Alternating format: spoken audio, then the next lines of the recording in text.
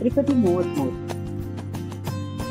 ಇಕ್ಕಿದಾತನು ಉಂಡು ನಕ್ಕು ಸ್ವರ್ಗಕ್ಕೆ ಹೋದ ಇಕ್ಕದನು ಹೋದ ನರಕಕ್ಕೆ ಲೋಕದೊಳಗಿಕ್ಕಲೇಬೇಕು ಸರ್ವಜ್ಞ one who eat and donate to others reaches heaven happily. One who only eats and does not donate reaches hell. Hence, one should eat and donate for others to eat also. Sarvagna. It is believed that a good heart and good person reaches heaven after his death for all the good deeds he has done during his lifetime. So, as we are here, it is always good to learn to share and eat as we come with nothing and leave with nothing.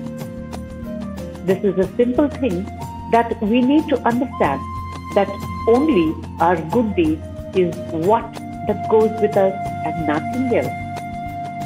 Sharing food with the needy is a very good and a pious act.